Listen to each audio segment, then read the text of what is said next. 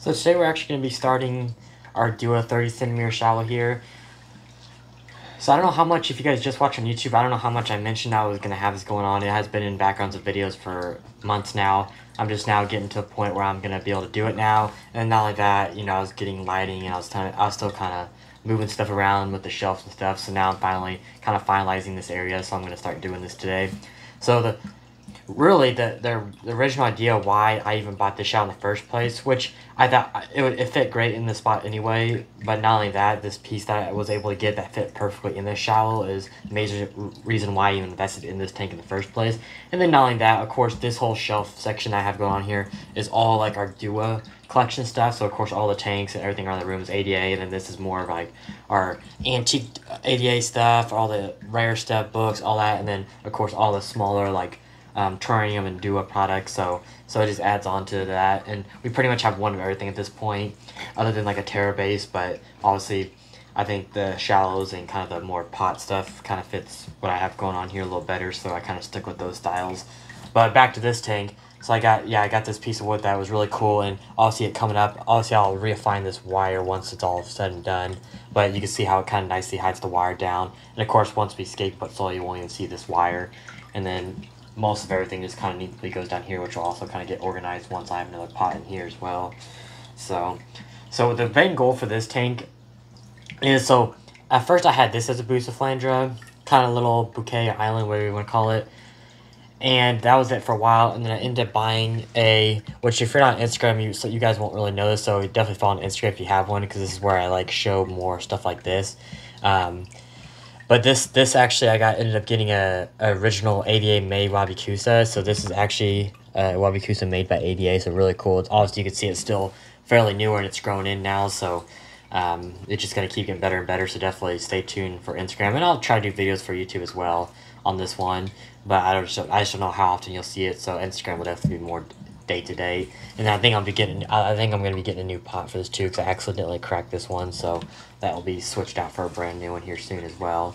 But back to this one. So where I'm getting at is this will basically be my new Bucephalandra Island. I already bought a bunch of Buces. Um, really cool species. I'm to keep adding on to it. So today the Bucephalandra I'll add to it is kind of um, what I just got today. And then I'll, of course, keep adding into it because I definitely have some pieces like Brownie Ghost 2011 that I can add in here. So I just want this tank to kind of get a little bit established first and then I can add some other stuff. But I got Buce, I got Bucephalandra, I got um, Goliath. I got some cool Godzilla species that are actually really cool and different that I haven't had in a little bit. And then the rest of the stuff is I, I got a big I had rewards rewards program with uh, Buce Plant and I didn't realize I had a bunch of free money just sitting in there so I just went ahead and splurged on a bunch of Bucephalandra, spent like 400 bucks on Bucephalandra.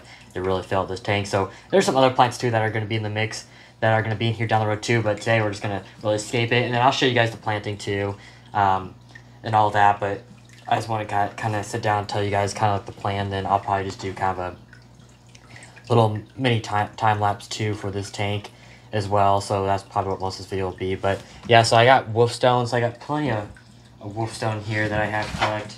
Um, I say plenty, but some good good sized pieces that will work perfect for a small project like this. So I got this first piece in here kind of slanted up. There's actually a little nub on the bag. This piece kind of cool, so I let it shoot up because I kind of definitely want a lot of stuff to be grown out of the water. So if I can have more stuff sticking out of the water, the better. So that's why I put that piece there.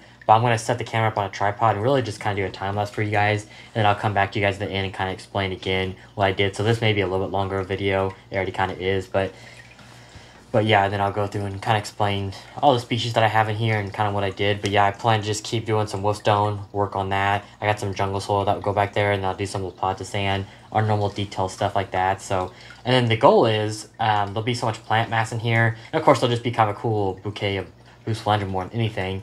But this tank is big enough that I can actually probably do shrimp in here. Um, I've seen plenty of people do that as well. So I was like, my, I mean, might as well. It's to be a it's to be a whole nother tank sitting right here, so might as well actually do some type of livestock in it.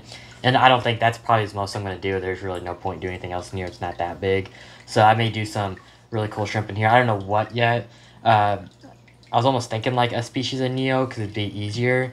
But we'll just see. I mean, I, I wouldn't mind like even some crystals. Like I try to do stuff that's a little more rare um, just add to my collection. But we'll see. I'll kind of look through and see what shrimp to do. But I'll, of course, I'll give you guys updates on that if I do choose something. But I'll definitely do something pretty cool in here for sure. But other than that, yeah, I'll set up the tripod and I'll get scaping and I'll come back to you guys at the end.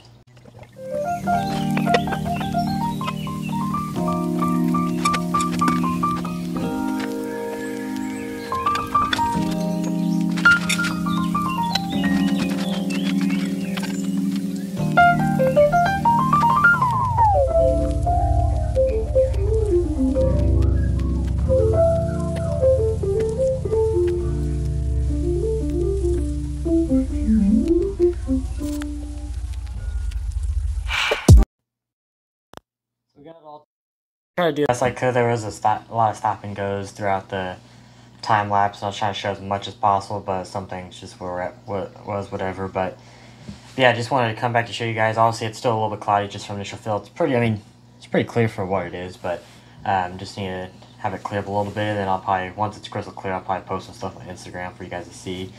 But yeah, I just wanted to go through and just explain some of the species here. So there's a couple. Um, more terrarium type plants. Of course, they could, they're, you know, the rhizomes can be submerged, but obviously the main body of the plant can't be, and that's what these ferns are. Um, and then I got a little bit of uh, moss that I've used plenty of times in these um, other duopods to get a real blue. I don't know if it'll do well in here with, you know, pretty much no humidity, but we'll just see. I just threw it in there. I can use it in other places if it doesn't really not liking it. But then the main one is I got the Bucephalandra Godzilla, which isn't in the best shape when it got shipped. So, it, again, that's just whatever. It'll the good thing is as long as the rhizome's intact, it'll put new you know new growth out over time. So, but for the most part, it looks pretty good. It was kind of hard to position like how I wanted it. Of course, you can see a lot of leaves like way out here, but in this light, I have to see. Um, obviously, I'm with the puck light. I just have to see.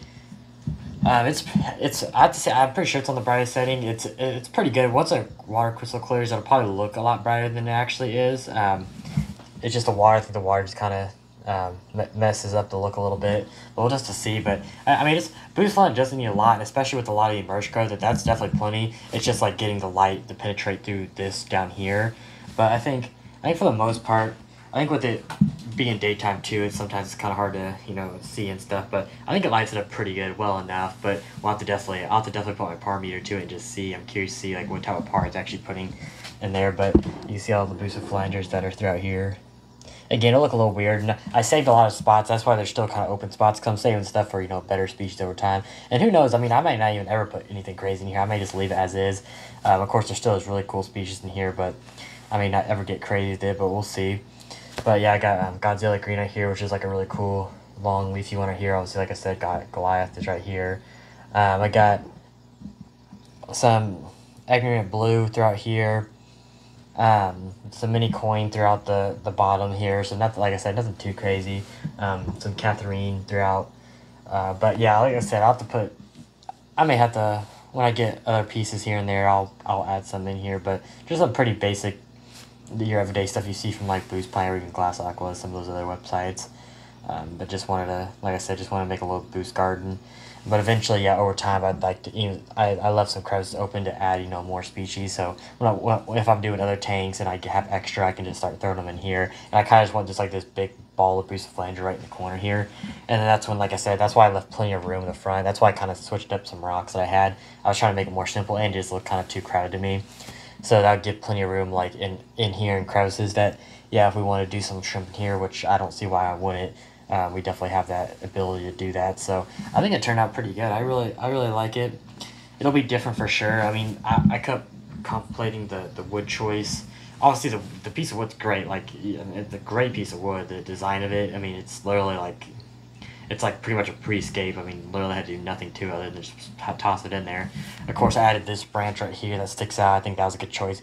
It's kind of cool. It actually connects into that branch on the other piece of wood. So I think that's a really nice detail, especially from the down up like this. It looks really good. And then there's another piece that kind of go out here that kind of supported the glide, so that actually worked out really well. But yeah, other than that, that's about it until I really give you guys updates and it clears up on Instagram. You guys will see all that, and then of course I'll try to, just like all the other tanks, I'll keep you guys all updated on all this and how this turns out over time. I don't see myself rescaping. I mean, I say that, and I've rescaped probably all these duos three or four times. But I, I, the wood choice. I mean, I bought that wood just for that tank, and so I think it's a. It's possible down the road I may do something different again, but I really, I think, I think I. I'm definitely gonna run with it. I, I don't mind it whatsoever. So, I think I think we'll end up sticking with it. like it looked pretty good. So, but other than that, yeah, if you guys have any questions or if you if you see a species that you think I missed and you want to go know the name of, just let me know down below. I'll see like like I said again, Instagram is JJ Aquarium, so you can ask any questions on there as well. But other than that, I'll see you guys in the next video.